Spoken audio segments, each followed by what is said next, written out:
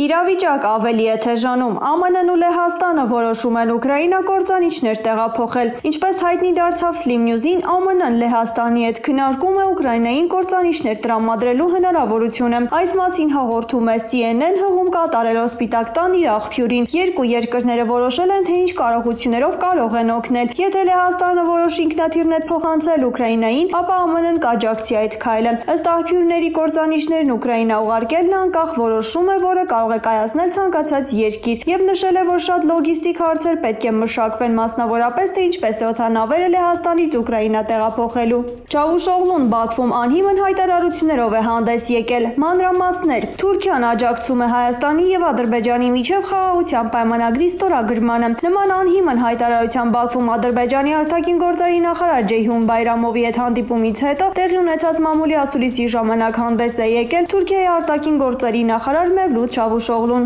Նա իր ելույթում մի շարք անհիմն հայտարարություններ է արել այսպես կոչված Անգեզուրի միջանցքի մասին եւ խոսել հայ-թուրքական հարաբերությունների մասին։ Նա վերահաստատել է, որ հայ-թուրքական հարաբերությունների կարգավորման գործընթացը Թուրքիան համակարգում է Ադրբեջանի հետ։ Թուրքիայի ԱԳՆ-ի ղեկավարը եւս մեկ անգամ կրկնել է, որ Հայաստանը հրավիրել են մասնակցելու Անտալիայի դիվանագիտական ֆորումին, սակայն չի մանրամասնել, թե ինչ պատասխան է տվել Երևանը։ Ուշագրավ է, որ Բայրամովի հետ հանդիպումից հետո Չավուշօղլուն հանդիպել է նաեւ Ադրբեջանի նախագահի հետ եւ այդ ընթացքում նույնպես հնչեցրել մի շարք անհիմն հայտարարություններ։